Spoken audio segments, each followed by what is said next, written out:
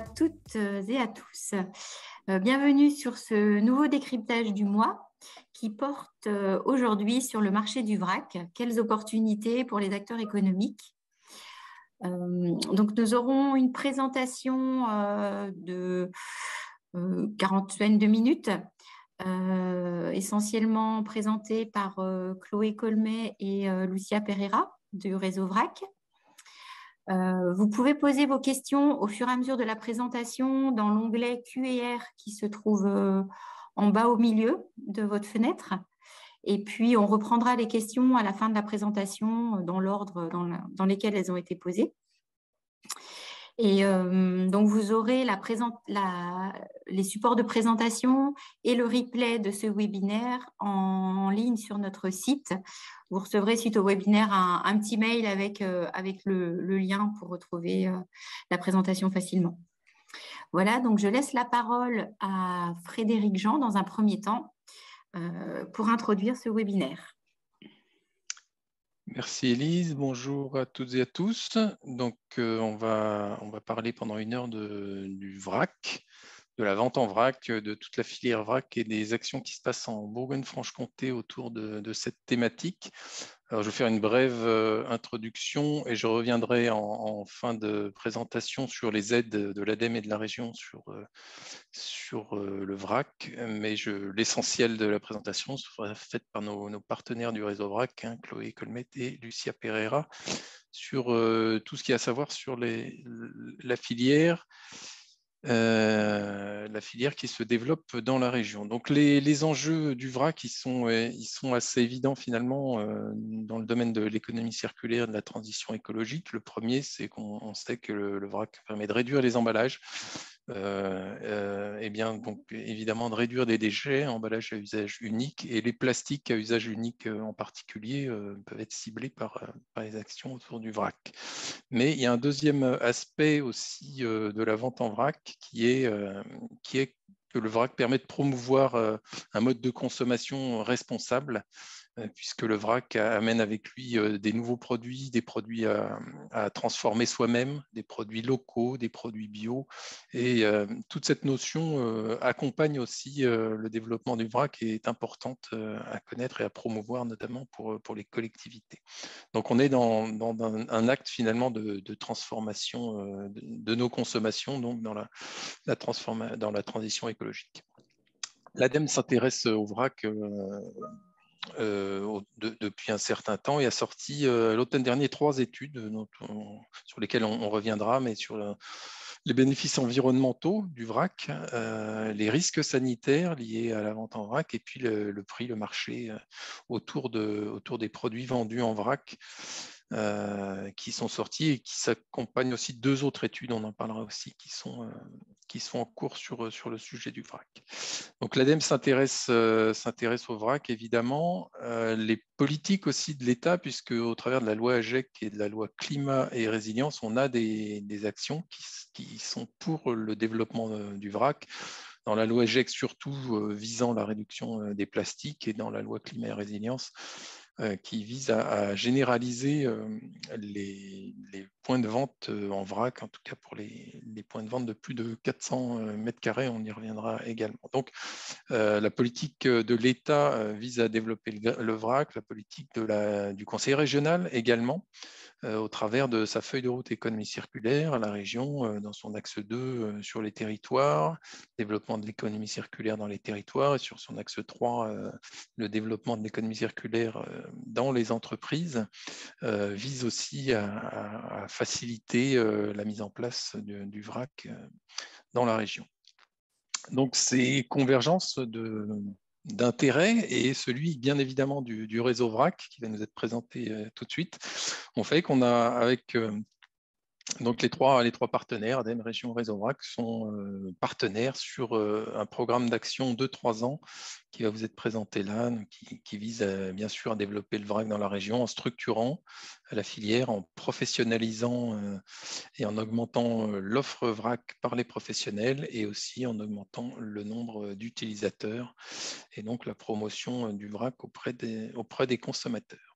Donc ben, maintenant, je laisse la parole à Chloé Colmet et Lucia Pereira pour nous parler du vrac en général et en Bourgogne-Franche-Comté en particulier. Merci Franck. Bonjour à toutes et à tous. Donc, moi, je suis Lucia Pereira, directrice des affaires juridiques et réglementaires de l'association Réseau VRAC. Euh, Chloé, tu veux te présenter? Oui, bonjour à tous. Euh, Chloé Colmédage, je suis chargée de mission VRAC en Bourgogne-Franche-Comté. C'est moi qui suis en charge justement d'animer et de structurer la filière VRAC euh, sur le territoire régional. Voilà, donc moi, je vais animer la première partie du webinaire sur la présentation de l'association euh, est, sur le cadre réglementaire de la vente en vrac. Et Chloé vous présentera donc en deuxième partie le marché et les actions euh, territoriales menées par l'association aux côtés donc de l'ADEME et de, et de la région euh, Bourgogne-Franche-Comté. Alors, donc, voilà, bah, je vous ai annoncé le plan. donc, Réseau VRAC, on est une association, loi 1901, on existe depuis 2016.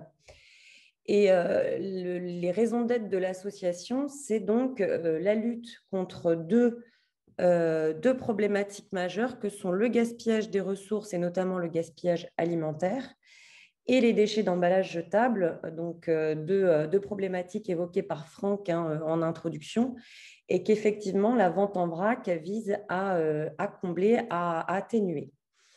Et euh, vous allez le voir qu'avec euh, les actions donc, euh, menées par Réseau VRAC depuis 2016, et notamment les actions de lobbying pour inscrire une définition de la vente en vrac et développer l'essor de cette modalité de vente, eh bien aujourd'hui, la vente en vrac dans la législation française est définie comme une pratique commerciale encouragée parce qu'effectivement, il est démontré que si euh, la vente en vrac est réalisée dans des, dans des, bonnes conditions, qui sont notamment rappelées par les études réalisées par l'ADEME, euh, dont on va un petit peu parler aussi. Eh bien, euh, on arrive avec cette modalité de, vente et de consommation à atteindre les objectifs de réduction du gaspillage et de réduction des déchets d'emballage. On a des sources hein, qui permettent de détailler cet argumentaire notamment une étude réalisée en 2019 par WWF qui montre que grâce au choix de la quantité, puisque la vente en vrac, c'est notamment la possibilité d'acheter la quantité dont j'ai besoin, puisque les produits ne sont plus emballés dans un emballage primaire et donc avec un, volume imposé, eh bien, on va pouvoir ajuster euh, cette quantité à son besoin et donc euh, de cette façon agir sur le gaspillage euh, des produits. On le voit sur des produits tels que les épices ou par exemple la crème solaire, c'est des exemples qui sont assez parlants où euh, en fait on, voilà, on va avoir besoin d'une petite quantité d'épices pour réaliser euh, une recette ou de crème solaire pour partir cet été et puis finalement on ne pourra pas la réutiliser avant six mois et du coup bah, quand on aura besoin de la réutiliser la date sera dépassée. Donc on a un vrai besoin sur certains produits mais sur la majorité d'entre eux de pouvoir choisir la quantité pour éviter le gaspillage. Et la réduction des déchets d'emballage jetable, au niveau de la vente en vrac, elle est permise au niveau aval, c'est-à-dire entre le, distributeur et le consommateur, puisque le fameux emballage primaire qui disparaît avec le vrac est remplacé par un contenant, un contenant qui est réutilisable ou réemployable. Et euh, aujourd'hui, on doit encore travailler sur la réduction des, des déchets d'emballage jetables au niveau amont, donc entre le fournisseur et le distributeur, pour faire en sorte que ces déchets-là soient également euh, réemployés. Et donc, dans l'étude d'impact environnemental de l'ADEME, il y a un certain nombre de recommandations qui sont données euh, à la fois aux metteurs en marché, mais également aux distributeurs et aux consommateurs, pour que des bonnes pratiques soient adoptées tout au long de la chaîne de valeur du vrac pour atteindre des objectifs d'impact environnementaux complets. Aujourd'hui, on n'est pas dans ce cas-là. Hein. On le sait notamment au niveau amont, on a encore du travail à réaliser. Et c'est ce qu'essaye ce que, ce qu'essaye de faire Réseau VRAC dans le cadre de, ces projets. Et euh, peut-être que Chloé présentera un petit peu le, le VRAC. Je ne sais pas si c'est prévu, mais sinon, on pourra, on pourra vous en parler.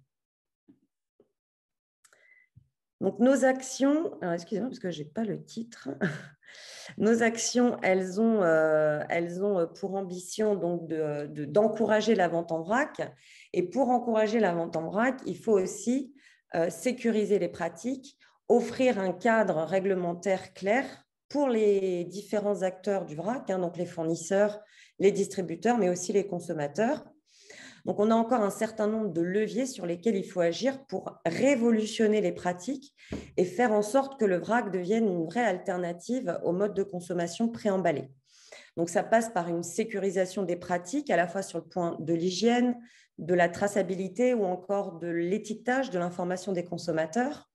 Ça passe également par plus d'accessibilité, par plus de praticité dans le parcours d'achat et grâce à toutes euh, ces, actions-là, on arrivera en fait logiquement et mathématiquement, puisque ces, leviers-là sont levés grâce à des actions qui vont dans un sens euh, de, mettre en, en, œuvre des bonnes pratiques tout au long de la chaîne de valeur et donc faire que le VRAC ait un impact environnemental et social positif.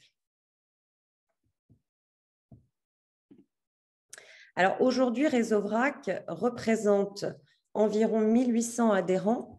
Donc, on n'est euh, pas euh, subventionné, en tout cas sur, euh, le fonctionnement de notre association. On a des conventions, des partenariats avec certaines régions, mais on n'a pas de, de subvention de, fonctionnement au niveau national. Donc, on fonctionne vraiment que sur bah, nos adhésions et les formations que l'on fait auprès de nos adhérents. On est un organisme de formation certifié Calliope. Et donc, on regroupe euh, donc, tous les acteurs de la chaîne de valeur du vrac. On est une association professionnelle, donc des fabricants, aujourd'hui majoritairement des fabricants, transformateurs, grossistes de produits alimentaires, cosmétiques, détergents. On voit arriver aujourd'hui des nouveaux produits, hein, euh, tels que notamment dans le secteur du bricolage ou du jardinage.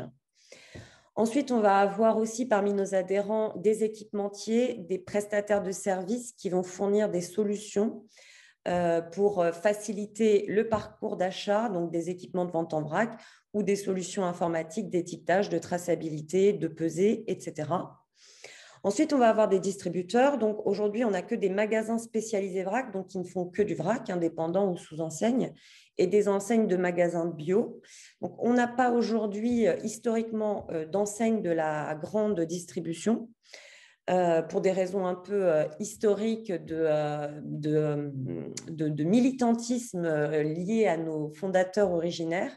Et on est en train de là de revoir un peu les règles de gouvernance de l'association pour essayer de créer des collèges dans lesquels la grande distribution qui, du coup, euh, respectera les conditions d'adhésion euh, à, l'association puisse aussi adhérer à l'association et, bénéficier des outils, notamment des formations qu'on propose.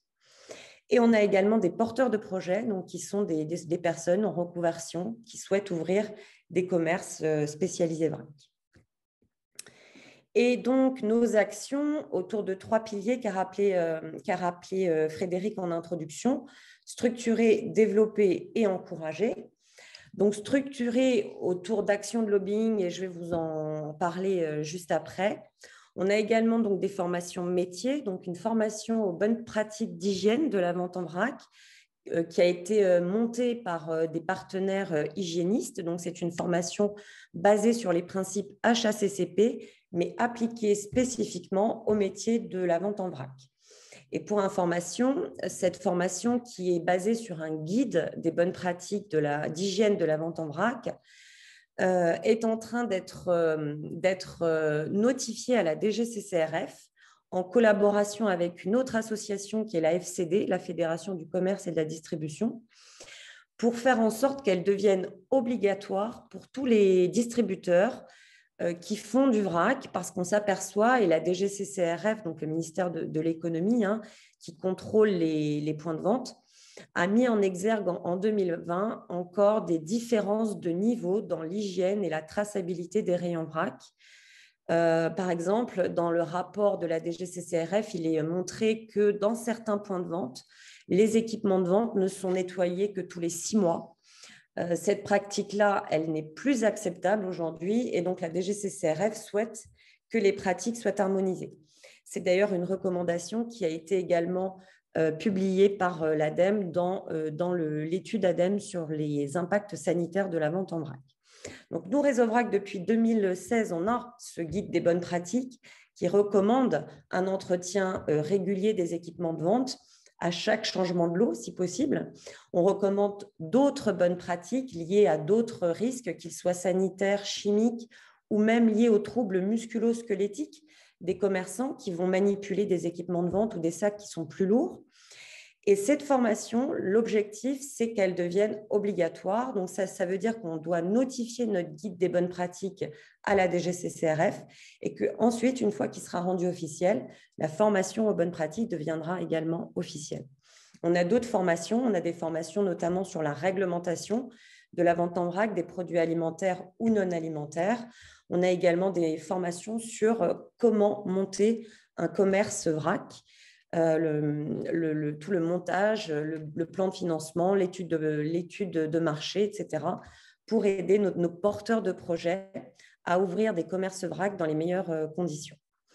Donc ça, c'est nos outils de structuration. On a ensuite évidemment des outils pour développer la filière. Donc on met en réseau, on a un catalogue fournisseur et un catalogue de nos commerçants qui permet euh, aux uns et aux autres d'entrer en relation. On a des guides juridiques pour les commerçants, pour les fournisseurs qui sont mis à jour régulièrement. On organise donc le Salon du Vrac. la quatrième édition du salon a eu lieu euh, au mois de mai au Parc Floral. C'est le seul salon du vrac organisé aujourd'hui dans le monde et donc ouvert pour les exposants euh, qui sont adhérents de l'association. Euh, donc sur deux jours et qui fait toujours beaucoup d'émulation puisqu'en fait c'est un secteur qui est très innovant. On va le voir, hein, on a besoin d'innovation pour développer le vrac et, lever certains freins euh, liés notamment, par exemple, à la pratique des contenants réemployables ou réutilisables. On a des partenariats avec, euh, avec plusieurs acteurs, notamment euh, des éco-organismes comme l'EGO ou des, organismes de financement. Et enfin, on a des pratiques qui visent à encourager la vente en vrac auprès des citoyens, puisqu'on a toute une partie de, de, sensibilisation des consommateurs, puisque le consommateur est un vrai acteur de la chaîne de valeur du vrac. On voit même qu'aujourd'hui, euh, on parle de, consommateurs responsables juridiquement hein, euh, de la propreté du contenant et on va y revenir. Donc, cette responsabilité, ce transfert de responsabilité qui est fait aux consommateurs, il passe par une éducation et une sensibilisation des citoyens. Et euh, voilà, encourager les collectivités, c'est ce qu'on fait là aujourd'hui avec, la région Bourgogne-Franche-Comté et l'organisation de ces webinaires les entreprises comme vous et, euh, la presse. Alors, est-ce que vous avez déjà des questions sur, euh, sur l'association avant de passer donc à, la réglementation? On peut faire un, petit point. Moi, je ne vois pas le chat, donc s'il y a des questions, on peut euh, passer un peu de temps. Non? Pas de questions. La, pratique, c'est de, reporter les questions en fin de présentation. Voilà, grâce au chat, vous pouvez écrire tout au long de la présentation dans le, question-réponse. Les questions, on les, on les reprend euh, à la fin de la présentation. Parfait. vous pouvez continuer. Alors, on passe euh, au vif du sujet de la réglementation. Donc, euh, aujourd'hui, depuis 2020, donc depuis la loi AGEC, on a une définition de la vente en vrac à l'article L120-1 du Code de la consommation et cet article, il est euh, dans une, euh, une section du Code de la consommation qui s'appelle Pratiques commerciales encouragées. Donc, on voit bien la volonté des pouvoirs publics de développer, d'encourager ce mode de, euh, consommation, ce mode de distribution. Donc, on est dans une définition qui est strictement B2C, ce qui ne veut pas dire que les recommandations, les bonnes pratiques et les actions de réseau VRAC ne vont pas également concerner la phase amont, c'est-à-dire la relation entre le fournisseur et le distributeur. Mais dans le code de la consommation, la définition, elle est B2C afin de sécuriser les règles d'hygiène, de traçabilité et d'information du consommateur. Donc, cette modalité de vente, elle est, elle est définie autour de quatre critères principaux. D'abord, le produit doit être présenté sans son emballage primaire. Donc, il doit être présenté nu, Soit il est présenté dans un équipement de vente en vrac, soit un, silo, un bac à pelle, ou alors sur un étal quand on est dans un rayon à la coupe ou dans un commerce de bouche. Donc le produit est présenté sans son emballage primaire, ce qui veut dire que le consommateur va pouvoir choisir la quantité. Comment il choisit la quantité? C'est parce que le produit va être vendu au gramme près, au centilitre près, ou à l'unité quand on est sur du solide, sur un produit solide non sécable. Je prends l'exemple du kiwi, par exemple, qu'on achète à la pièce, mais euh, voilà qu'on peut en acheter un, deux ou trois parce qu'il est présenté sans son emballage primaire. Donc présenté sans emballage primaire, en quantité choisie, et dans, dans un contenant réemployable ou réutilisable. Donc ça veut dire que si j'achète un produit, un kiwi par exemple, euh, mais dans un sachet euh, plastique ou dans un sachet craft, là, on ne sera plus dans du vrac. Je vous donnerai un peu des distinctions dans la slide d'après sur ce qui est du vrac ou pas du vrac, mais ayez en tête que ces critères-là pour la vente en vrac sont des critères cumulatifs et que si l'un de ces critères n'est pas présent, donc soit on n'a pas le choix de la quantité, soit on n'a pas le contenant réemployable ou réutilisable, on ne sera pas dans de la vente en vrac. On peut être dans de la vente de produits présentés sans emballage, mais ce ne sera plus du vrac.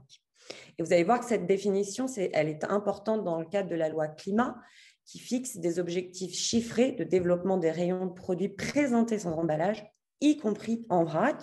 Donc, il faut bien avoir en tête la différence entre présenté sans emballage et vrac. Euh, le réemployable ou réutilisable, qu'est-ce que c'est la différence? Donc, euh, alors sachez qu'en France, on est le seul pays où on a cette distinction entre un emballage réemployable et réutilisable. Dans la directive emballage, la directive européenne, on parle de reuse, il n'y a pas de distinction.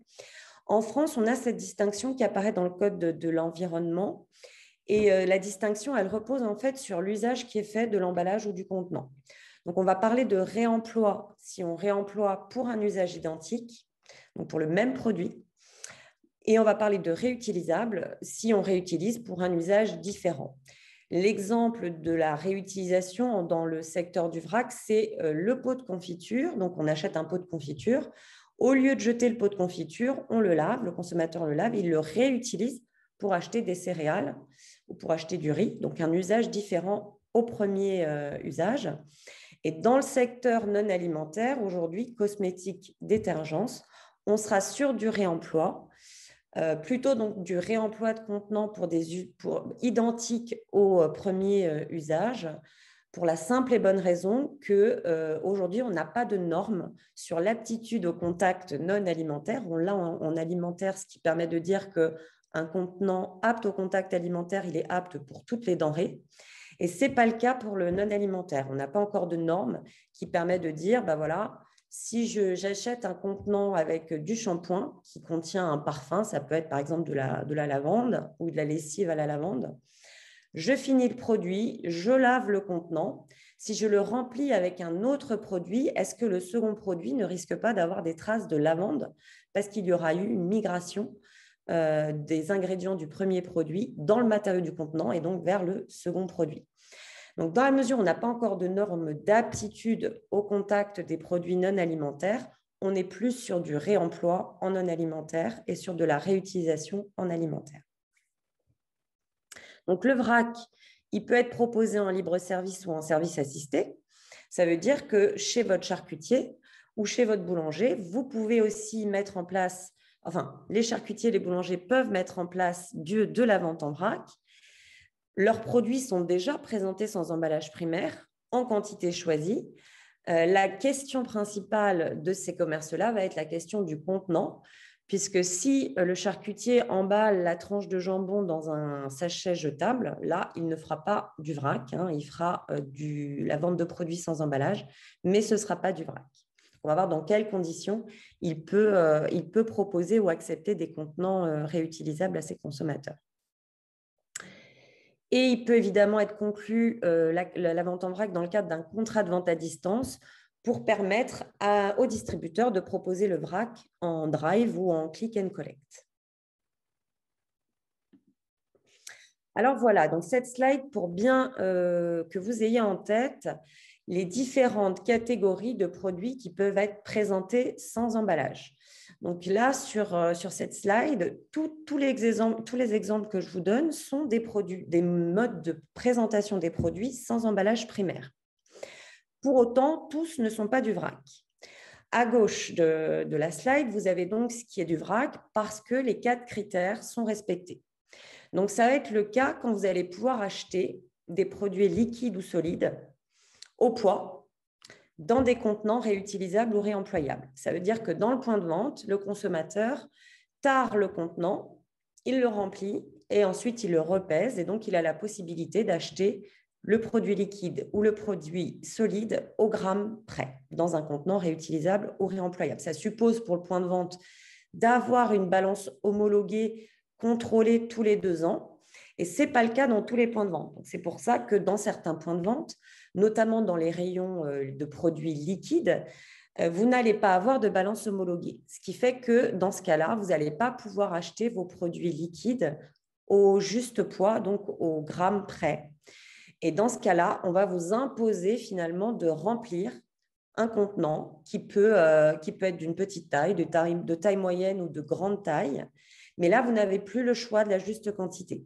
Donc, dans ce cas-là, vous ne serez pas dans du vrac, vous serez dans une pratique de recharge, c'est-à-dire de remplissage d'un volume euh, dans un, volume dans un contenant d'un volume imposé.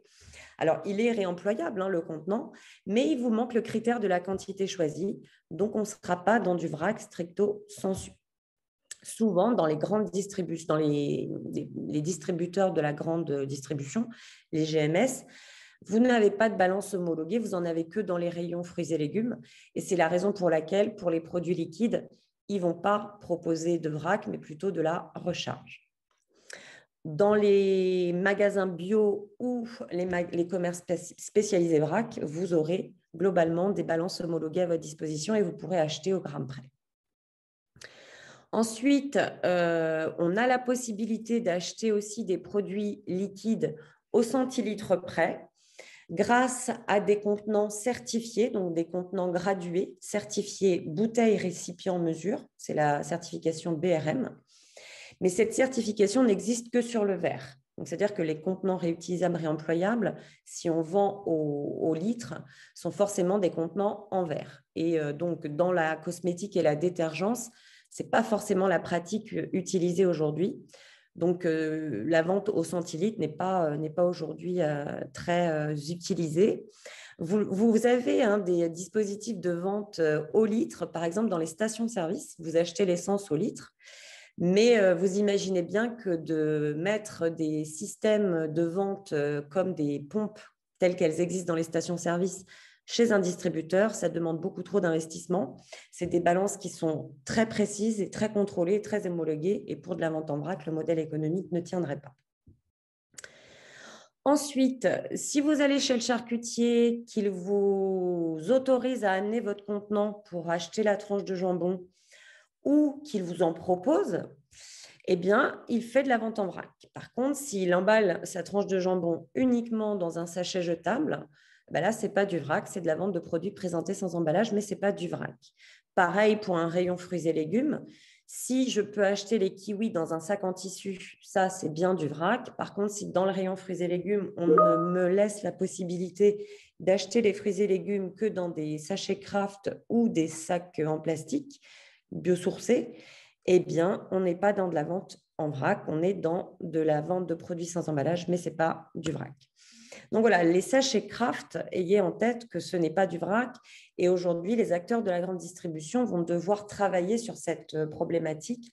Ils ont déjà, la loi AGEC leur euh, impose l'obligation de mettre à la disposition des consommateurs des contenants réutilisables prêts à l'emploi. Donc ça, c'est pour les commerces de plus de 400 mètres carrés.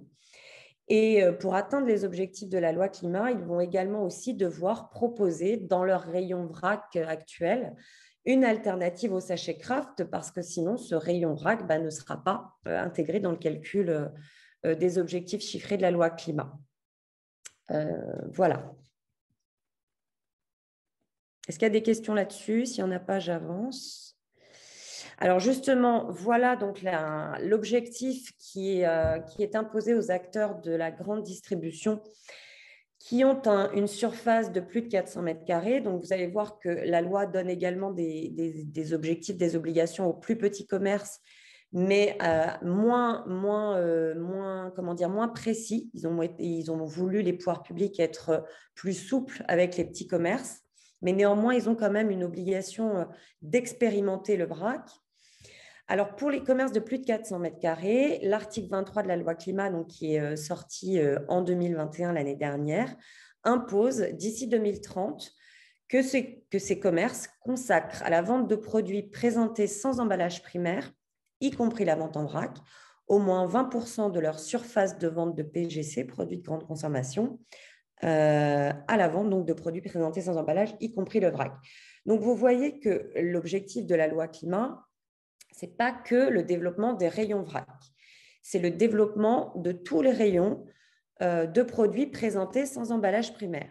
Ça veut dire que tous les exemples que j'ai donnés ici, donc notamment un rayon fruits et légumes, un rayon à la coupe, est déjà intégré dans euh, l'objectif chiffré de 20% qui euh, concerne tous les produits présentés sans emballage primaire.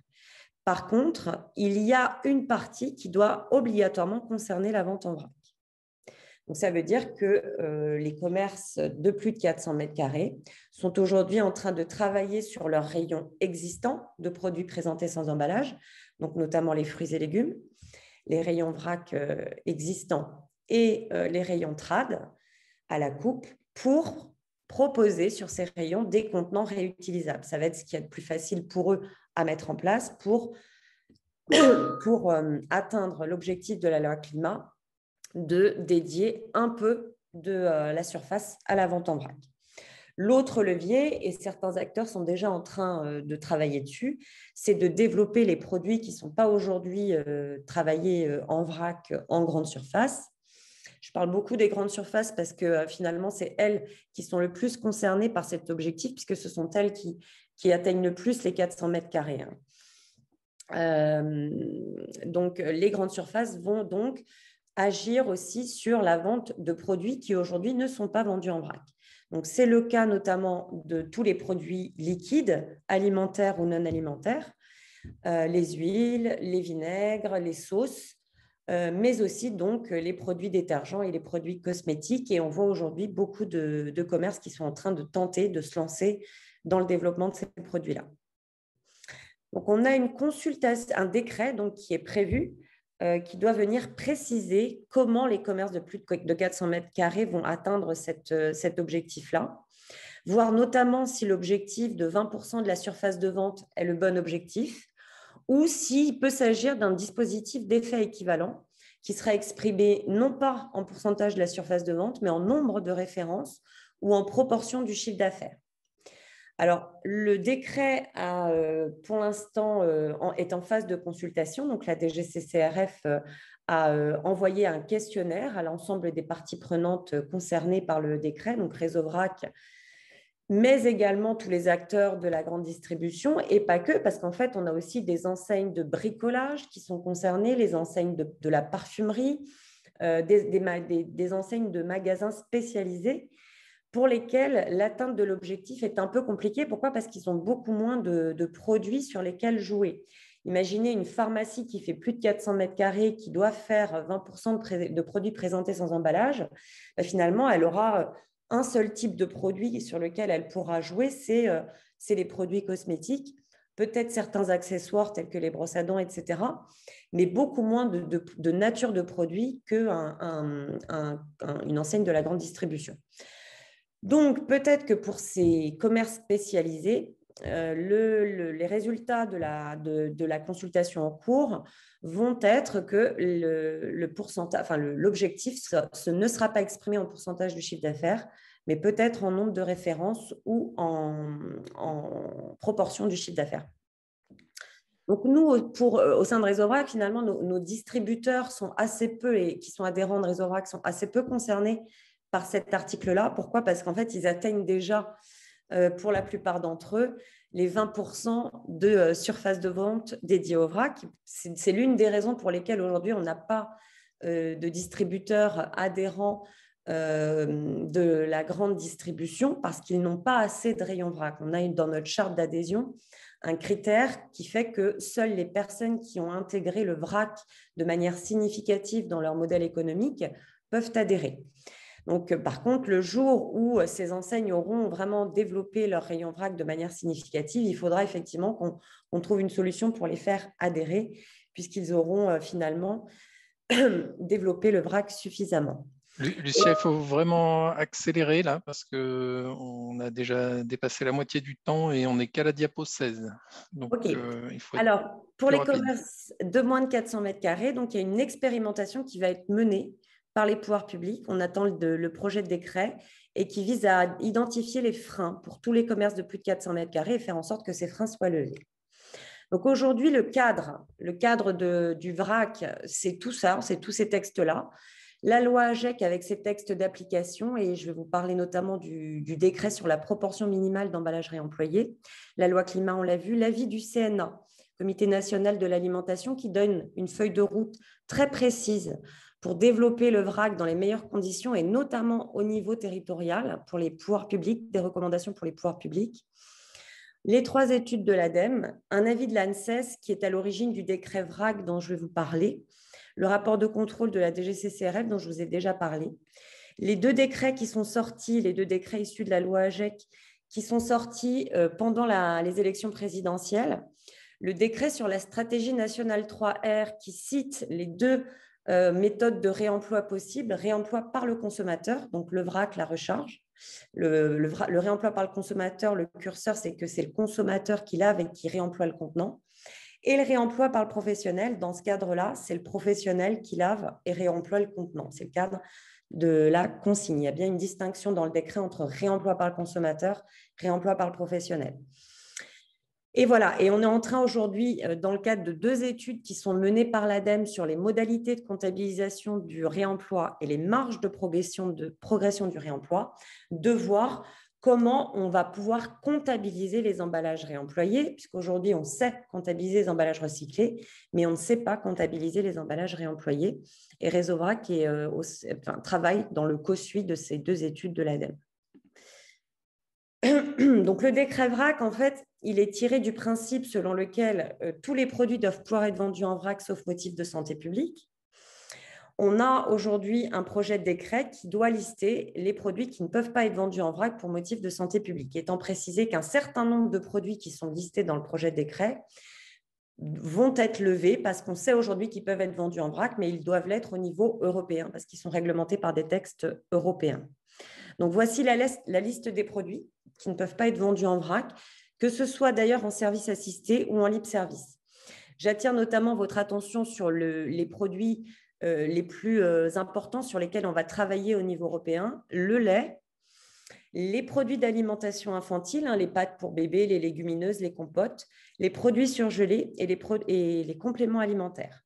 Donc, sur ces produits-là, on sait que demain, notre, travail de, lobbying, c'est de, lever, les freins sur ces, sur ces produits-là. Pour ces produits-là, cette liste-là, ce sont des produits qui peuvent être vendus en vrac, soit en service assisté, donc le professionnel sert, soit en libre service.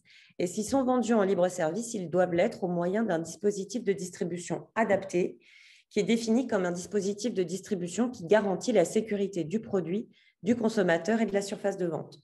Donc, vous voyez que dans cette liste-là, on a notamment les produits cosmétiques et les produits détergents pour lesquels, s'ils sont vendus en libre service, le dispositif de distribution doit être conforme à certaines règles, qui sont en fait les règles qui sont recommandées par Réseau VRAC et reprises dans euh, l'étude sanitaire de l'ADEME, donc le cadre réglementaire qui existe depuis, euh, depuis 2016. S'agissant du contenant, on a également, depuis la loi AGEC, un article qui, qui consacre le droit du consommateur d'être servi, de pouvoir utiliser un contenant réutilisable dans son point de vente, que ce soit en libre service ou en service assisté. Et vous voyez qu'il y a dans cet article-là une règle que dans l'hypothèse où le consommateur fait le choix de venir avec son contenant ou d'acheter dans un contenant réutilisable, eh il devient responsable de l'hygiène et de l'aptitude du contenant. Ce transfert de responsabilité, il ne peut se faire que si sur le point de vente, donc dans le rayon, que ce soit le rayon trad ou le rayon vrac, eh on ait un affichage des règles de nettoyage et des règles d'aptitude du contenant. Donc, c'est simple hein, pour l'alimentaire. Les règles d'aptitude, c'est le petit logo apte au contact alimentaire. Les règles de nettoyage, bah, c'est le passage au lave-vaisselle. C'est ce qui est le plus simple et c'est possible pour tous les contenants euh, alimentaires. Euh, alors, on sait que dans un certain nombre de points de vente, et d'ailleurs l'ANSES l'a dit dans sa note, l'ADEME l'a également rappelé dans, son étude d'impact sanitaire, cette règle du transfert de responsabilité de l'hygiène au consommateur, euh, elle est difficile à mettre en place dans certains points de vente, notamment dans les rayons de trade de la grande distribution où en fait les craintes que le, contenant du consommateur vienne contaminer finalement le rayon. Euh, notamment avec la crise sanitaire qu'on a vécue, ces craintes-là ont été un petit peu également, euh, enfin, ça, c'est venu un petit peu encore plus compliqué la mise en œuvre de cet article hein, qui est tout récent. Et donc, on est en train de travailler, nous, pour euh, donc, développer, préciser les règles d'application hein, de, de ce transfert de responsabilité, notamment travailler sur des modèles d'affichage, des protocoles de nettoyage validés, et enfin, le marché également innove pour donner aux acteurs des solutions de décontamination des contenants dans le rayon. On en a vu un au salon du vrac, des solutions de décontamination last minute. Ça existe pour la, cosmétique, ça existe aussi dans certains rayons traditionnels. Imaginez comme des micro-ondes, des tunnels de, de micro-ondes où en fait le consommateur vient, il pose son contenant lavé dans le micro-ondes il passe 30 secondes et le professionnel récupère le, contenant de l'autre côté qui est, et le contenant est décontaminé. Donc voilà, c'est des, solutions qui peuvent être un peu coûteuses à mettre en place, mais qui vont permettre aux, consommateurs d'être rassurés, au point de vente également. Et les autres pratiques donc, euh, qui doivent encore être améliorées sont les pratiques d'étiquetage. Aujourd'hui, pour l'alimentaire, on est sur le libre service calé sur les règles que vous avez chez un, commerce de bouche, c'est-à-dire des règles d'étiquetage assez sommaires, hein, puisque quand vous achetez une tranche de jambon chez le charcutier, quand vous rentrez chez vous, vous n'avez plus d'informations. Mais c'est les mêmes règles en fait sur l'alimentaire euh, en vrac. Et Réseau Vrac recommande qu'il y ait plus de mentions obligatoires étiquetées, à la fois sur l'équipement vente, mais également sur, les contenants de certains produits, notamment les, contenants de produits frais, en vocation à être euh, stockés au frigo. Pour la cosmétique et la détergence, la France aujourd'hui va plus loin que les autres pays européens puisqu'elle impose déjà l'étiquetage obligatoire des contenants pour ces deux types de produits, avec notamment le numéro de l'eau euh, qui doit euh, faciliter la traçabilité des produits.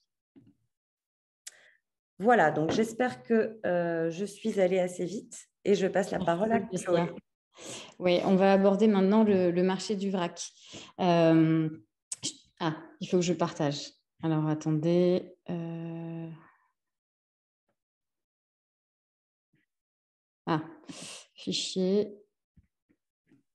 Sinon, je garde la main. Ouais, je veux bien parce que là, je ne connais pas les options de Zoom. Veuillez m'excuser, je n'ai pas ah, l'habitude de Ok, ça marche. Alors du coup, euh, on va aborder le marché du vrac et de la filière. Donc c'est un marché euh, qui est très dynamique depuis 2015 euh, et qui était en forte croissance avant la crise. Il a été multiplié par 6 en 5 ans. Le a été multiplié par 6 en 5 ans et il s'est stabilisé pendant la crise sanitaire à 1,2 milliard d'euros hors taxe de chiffre d'affaires. Ce ralentissement, il est notable depuis, mais il concerne tous les commerces physiques dont fait partie le vrac avec en lien euh, la guerre en Ukraine euh, et donc l'inflation, ainsi que les présidentielles qui ont un impact euh, mais depuis mai 2022, on note déjà des faibles signaux d'une reprise avec des consommateurs qui étaient en transition et qui commencent à revenir à la consommation de. On envisage un retour plus significatif des consommateurs à partir de septembre 2022 et donc la croissance, elle va reprendre depuis belle, comme on peut le voir sur la, diapo d'après, notamment parce que l'offre vrac s'agrandit euh, il y a de plus en plus de points de vente. Il y en a déjà 10 000 euh, en, France et près de 600 en Bourgogne-Franche-Comté. Euh, il y a une petite coquille. Aujourd'hui, c'est 950 épiceries vrac notamment. Et puis, vous voyez, comme Lucien en a déjà parlé, il y a 2800 magasins bio, supermarchés, hypermarchés et proxy, mais également d'autres endroits où on peut trouver du vrac aujourd'hui, comme les marchés, la parapharmacie, etc. Euh, et puis des familles de produits qui s'élargissent de plus en plus, euh, avec principalement des produits de grande consommation comme l'alimentaire, la cosmétique et les produits ménagers.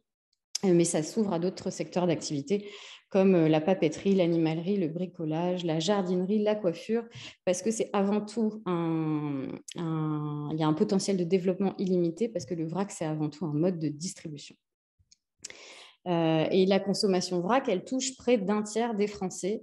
Euh, et 44% d'entre eux achètent vrac au moins une fois par mois ou plus souvent. Euh, donc, c'est près de 4 millions d'acheteurs euh, français qui, qui aujourd'hui consomment en vrac. Le consommateur vrac, il n'a pas vraiment de profil type, il ressemble à la population française, se détachent notamment les personnes vivant seules dans des zones rurales ou des villes de moins de, 20 000 habitants, des personnes de plus de 50 ans, les retraités, mais on, voit également qu'il y a en part égale en fait des cadres supérieurs et des ouvriers qui consomment en vrac. Dans les acheteurs vrac, euh, les circuits qu'ils fréquentent euh, sont en majorité du coup les hyper et les supermarchés, euh, comme c'est le cas pour monsieur et madame tout le monde, notamment pour maîtriser son budget. Et puis, si tu passes la slide d'après, normalement, voilà, il y a les acheteurs vrac réguliers, eux, qui sont déjà conscientisés et qui vont principalement fréquenter les magasins bio. Euh, et la première euh, raison euh, d'achat en vrac, c'est de pouvoir acheter la quantité dont j'ai besoin, comme l'avait déjà cité Lucia précédemment. Ça se ressent notamment sur le profil des consommateurs vrac, puisque certaines proportions d'entre eux vivent seuls. et puis vient ensuite la motivation de réduire des déchets d'emballage jetables. Euh, dans les produits qui sont les plus plébiscités par les consommateurs vrac, on trouve sans surprise les produits d'épicerie. Euh, depuis les années 80, en fait, c'est euh, cette offre-là qui est la plus développée, mais l'offre, elle, est de plus en plus diversifiée, comme on l'a vu, et notamment sur le non alimentaire qui séduit de plus en plus. cette tendance, elle se vérifie par rapport aux attentes des consommateurs. Voilà, il y a 52% des foyers français qui veulent trouver plus de vrac dans leur Euh, et, le développement de produits alimentaires reste une valeur sûre, mais il y a un vrai potentiel de développement euh, euh, sur le non alimentaire, le liquide alimentaire, les pâteux et sauces alimentaires, en fait, tout ce qui pourrait permettre aujourd'hui de faire toutes ces courses en vrac et qui n'est pas aujourd'hui suffisamment développé dans la filière. Euh, en tout cas, la filière, elle est en marche pour ce faire. Et puis, elle a également euh, mis en place des actions et des solutions pour lever les freins des consommateurs. Lucien en a, cité certains. Euh, mais du coup, par rapport au prix, on est en train de voir de nouveaux acteurs qui arrivent dans la filière ces dernières années et pas que dans le bio. Leclerc notamment, qui a un projet de marque de distributeur en vrac depuis mai 2022, et puis Auchan, par exemple, euh, qui a une offre vrac premier prix qui s'étend depuis 2015. Euh, en ce qui concerne euh, l'hygiène, Lucien en a déjà parlé, donc je ne vais pas m'attarder, mais on mobilise pour rendre la formation aux bonnes pratiques d'hygiène de la vente en vrac obligatoire pour toutes les structures qui distribuent des produits en vrac. Et puis pour ce qui est de la praticité, euh, il y a de plus en plus d'innovations dans le vrac. Euh, moi, je vais en citer deux complémentaires par rapport à, celles que Lucie a déjà euh, abordées, notamment les capteurs pour détecter sur la balance en fait les typologies de produits dont le consommateur s'est servi. Ça permet d'être plus rapide, d'aller plus vite. Et, ou encore, par exemple, des applications de traçabilité pour récupérer les, informations produits. Voilà, c'est toutes les innovations qui sont visibles chaque année au Salon du vrac, comme, comme Lucie l'a dit précédemment. Et puis, euh, pareil, sur le manque d'informations sur les produits, on a déjà vu avec Lucia euh, les, obligations d'information à donner aux consommateurs qu'impose la loi. Donc ça reste, ça reste restreint. Euh, et puis par rapport au fait qu'il n'y ait pas de vrac dans mes magasins, on va dire que c'est vraiment une perception un peu biaisée du consommateur puisque le vrac se développe dans plus en plus de secteurs d'activité, dans plus en plus de points de vente. Et puis les commerces de proximité, comme on l'a vu avec Lucia précédemment, effectivement, peuvent déjà, on va dire, appliquer le vrac dans le sens où euh, ils peuvent, euh, aujourd'hui, la loi autorise les consommateurs à venir avec leurs contenants. Et puis enfin, par rapport au fait que les marques ne soient pas forcément euh, disponibles, eh bien, les grandes marques s'y mettent de plus en plus, aussi bien dans l'alimentaire, comme on peut le voir sur l'image à droite avec Ben Uncle Ben's, Ebly, etc. Et puis également dans la cosmétique, on peut citer notamment l'Occitane, et euh, dans l'hygiène avec euh, Mustela notamment qui, euh, qui fait des, pilotes en, parapharmacie. Voilà, maintenant qu'on a fait le point sur où on en est du marché de la filière VRAC, on va traiter des opportunités dans le VRAC en Bourgogne-Franche-Comté. Alors, notamment grâce au partenariat euh, avec l'ADEME et la région Bourgogne-Franche-Comté, dont on a déjà eu une introduction euh, précédemment par Frédéric, et qui a ambition effectivement de conforter et de renforcer la vente en vrac sur le territoire euh, et également de réduire les déchets d'emballage et le gaspillage de ressources. c'est vraiment voilà, ce, qui, est mis en, ligne de mire du programme régional donc, que je vais vous présenter. Trois grands axes de travail dans ce programme régional. Le premier sur animer et structurer la filière VRAC. Comment on y arrive en créant du lien et une communauté plus forte, euh, notamment en référençant et en fédérant tous les acteurs de la région euh, autour du VRAC, et puis en faisant connaître notamment les dispositifs d'aide au financement pour l'investissement euh, dont va nous parler après Frédéric. Il y a également le deuxième axe qui, qui, traite en fait de la professionnalisation et puis du fait d'accroître l'offre de, produits euh, et, le nombre de points de vente en vrac sur le territoire régional. Donc ça, comment on y arrive En encourageant le passage au vrac auprès de tous les acteurs économiques et dans tous les secteurs. Et puis en formant et en faisant monter en compétence justement euh, les acteurs économiques euh, du territoire et l'écosystème du territoire.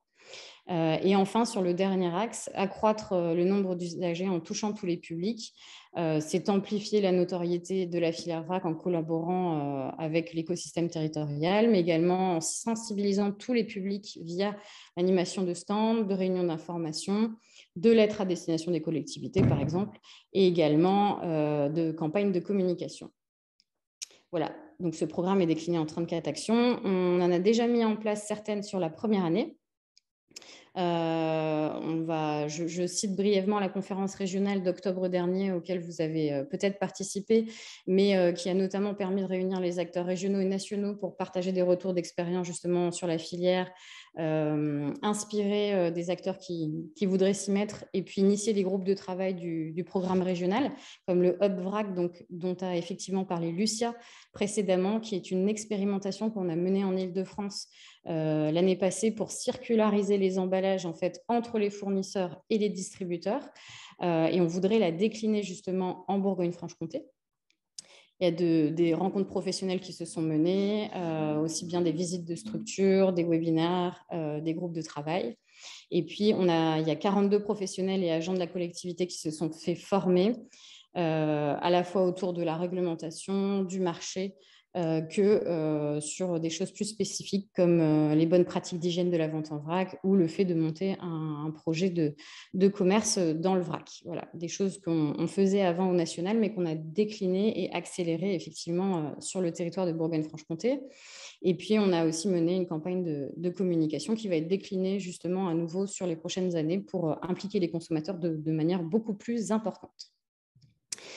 Et donc, euh, les actions à venir euh, qui sont une opportunité en fait pour les acteurs économiques de, s'impliquer euh, justement dans le VRAC, notamment par le biais de, sessions de formation qu'on va mener à destination des fournisseurs de produits qui ne font pas encore du VRAC, notamment dans l'alimentaire, la cosmétique et la détergence. Il y a une prochaine date, notamment le 29 juin de 9h30 à 12h30. Donc, je vais vous mettre après la présentation le lien pour avoir tout, le détail euh, sur, euh, sur ces sessions de formation. Et voilà, n'hésitez pas à m'écrire pour vous inscrire. Et puis, on, a, mène aussi des accompagnements individuels pour les fournisseurs de produits sur les problématiques juridiques ou liées à l'hygiène. voilà, pour, les porteurs de projets de produits en vrac. Également des sessions d'information des commerces de bouche sur leurs droits et responsabilités d'accepter des contenants réemployables pour s'insérer dans le vrac. On a notamment une, prochaine date en, septembre dans le Haut-Doubs. Et puis des formations pour les distributeurs vrac de la région, euh, comme déjà vu, avec des dates euh, prévues euh, à Besançon en octobre et puis en visio en juin, et le salon professionnel des opportunités vrac qu'on est en train d'organiser pour 2023. Merci Lucia. Et donc voilà, on vous invite à profiter de cette dynamique régionale en cours pour vous lancer et prendre une longueur d'avance euh, sur vos concurrents et euh, notamment en rejoignant l'association Réseau VRAC. Vous pouvez bénéficier effectivement de conseils de nos hygiénistes et de notre juriste, de formations inédites euh, avec des tarifs préférentiels grâce au partenariat en région Bourgogne-Franche-Comté et puis des retours d'expérience via des webinaires thématiques et euh, des rencontres professionnelles, euh, une veille régulière sur le marché, les innovations, etc. Voilà. Donc, on, reste à votre disposition pour tout complément d'information et on passe la main à l'ADEME. Merci. Merci Chloé, merci Lucia. Pour, euh, pour terminer très rapidement, donc un, rappel en fait sur euh, les aides apportées par l'ADEME et, le Conseil régional euh, sur le développement de la filière VRAC et on va élargir à, la consigne. Hein. On est un peu dans le, dans le même mouvement. le, réemploi, le réemploi des emballages, on va dire en général. Euh, il tourne essentiellement, cette aide elle tourne autour essentiellement des, études en fait euh, pour ce qui concerne les professionnels, euh, études qui peuvent viser à développer un produit, à réduire des emballages, euh, dans le but de substituer euh, le plastique, euh, substituer totalement l'emballage et développer le vrac hein, au travers soit d'un, enfin ça peut être le développement même d'un nouveau produit qui serait plus adapté à la vente en vrac que le, produit actuel. et bien sûr, tout ce qui tourne autour de, l'éco-conception des emballages pour, diminuer les, quantités, les quantités d'emballage, voire le supprimer totalement. Euh, autour de l'éco-conception et qui concerne le, volet, euh, le volet euh, vente en vrac, on a aussi la possibilité d'aider l'éco-conception des, des, projets, enfin en tout cas tout ce qui tourne autour de l'innovation des matériels de vente en vrac, voilà, je vais y arriver, peut être aidé au travers de, de, de nos soutiens, notamment ceux de l'AER, euh, l'agence économique régionale hein, qui, est, envoyé le logo euh, et qui, qui, accompagne euh, les professionnels dans, dans, toutes ces opportunités. En termes sur le, plan des investissements, les, les, les aides sont plus limitées. on va dire que ça va tourner essentiellement autour des outils de lavage et de contrôle pour la vente en vrac ou la, ou la consigne.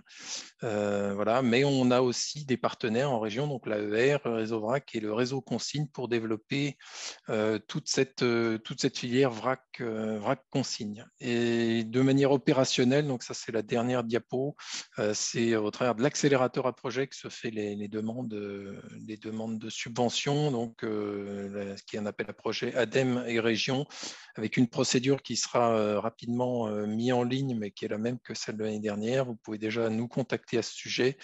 il y a un pré-dossier à, remplir, après une, une rencontre avec, avec nous, avec l'ADEME et le conseil régional, et puis le dépôt euh, formel si euh, votre dossier est considéré comme, euh, comme recevable. Donc, je ne m'étends pas plus là-dessus, vous pouvez nous faire des demandes en anticipation pour connaître le, les règlements d'aide. Alors, Élise, est-ce qu'il y a une question dans je pense qu'on est à vraiment dans la dernière limite Non, il n'y a pas, de pas vu. il y a simplement un ajout pour les formations. Donc ça, c'est Chloé qui a rajouté euh, des informations sur, euh, sur les formations réseau VRAC. Donc, bah, je vous invite à, nous contacter pour plus, euh, plus d'informations. je ne sais pas si je te laisse conclure, Élise, mais en tout cas, merci pour cette présentation très complète et votre, votre participation. Merci à vous pour l'invitation. Merci oui, merci à tous. Donc voilà, donc tout sera disponible sur, euh, sur le site internet, euh, le replay, les contacts, la présentation. Donc euh, n'hésitez pas à, contacter les, personnes concernées. merci d'avoir participé à ce webinaire. On vous souhaite un très bel après-midi et on vous dit à très bientôt. Au revoir. Bonne fin de journée.